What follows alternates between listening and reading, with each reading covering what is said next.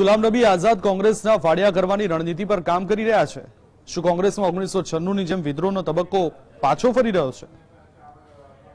પચાસ વર્ષ બાદ કોંગ્રેસને અલવિદા કહી નવી પાર્ટી બનાવવાનું એલાન કરનારા ગુલામ નબી આઝાદ શું કોંગ્રેસના ભાગલા કરવાનો પ્લાન બનાવી રહ્યા છે? શું આઝાદ ઓગણીસો છન્નુંમાં નારાયણ દત્ત તિવારીની તર્જ પર પોતાના નેતૃત્વમાં નવી કોંગ્રેસ ઊભી કરવાનું સપનું જોઈ રહ્યા છે? આઝાદ પોતાની સાથે કયા અન્ય નેતાઓને તોડશે? એ તો હજી સ્પષ્ટ નથી. પરંતુ કોંગ્રેસને લાગે છે કે તેઓ આ કોશિશ કરે તેવી શક્યતા છે. કોંગ્રેસ તેને ધ્યાનમાં રાખીને ડેમેજ કંટ્રોલની રણનીતિ પહેલેથી જ તૈયાર કરી દીધી છે. ઓગણીસો છન્નુમાં નરસિંહા રાવ સાથે મતભેદ બાદ નારાયણ દત્ત તિવારી અને અર્જુનસિંહ જેવા નેતાઓએ કોંગ્રેસથી અલગ થઈને નવી પાર્ટી બનાવી હતી.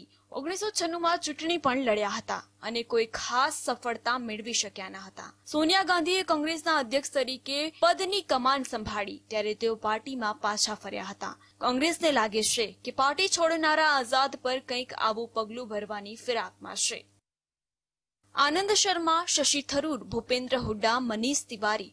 બિહારથી આવતા રાજ્યસભાના સાંસદ અખિલેશ પ્રસાદ સિંહને સાથે લઈને ગુલામ નબી આઝાદ કોંગ્રેસને મોટો આંચકો આપવાની ફિરાકમાં છે, જો કે આ તાત્કાલિક થવાનું નથી. પહેલા આઝાદ પોતાની પ્રાદેશિક પાર્ટી બનાવવા માંગે છે, પરંતુ કોંગ્રેસના રણનીતિકારો માને છે કે બે હજાર ચોવીસની લોકસભા ચૂંટણી પહેલા આઝાદ આ કોશિશ કોઈ પણ સમયે કરે તેવી શક્યતા છે. તેથી અંદરખાને આનું ડેમેજ કંટ્રોલ કરવાની તૈયારી પણ શરૂ કરી દેવામાં આવી છે. માનવામાં આવે છે કે કોંગ્રેસ અધ્યક્ષ તરીકે ગાંધી પરિવારની બહારના નેતાના આવવાથી પાર્ટીમાં તિરાડમાં વધારો થવાની શક્યતાઓને લઈને અટકણો છે. અશોક ગેહલોત અથવા વેણુગોપાલ અથવા મલ્લિકાર્જુન ખડગે જેવા કોઈ પણ કમાન સોંપવાથી બાકીના સમકાલીન નેતાઓમાં અસંતોષ વધી શકે છે. તેઓ પાર્ટી છોડી પણ શકે છે. આઝાદ પહેલા જ કહી ચૂક્યા છે કે ગાંધી પરિવાર પોતાની કઠપૂતળી જેવા નેતાઓને અધ્યક્ષ બનાવવા માટે નકલી ચૂંટણી કરાવી રહી છે.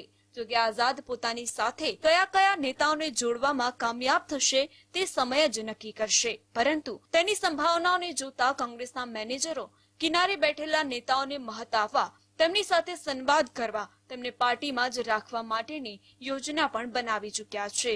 Bureau report, GST.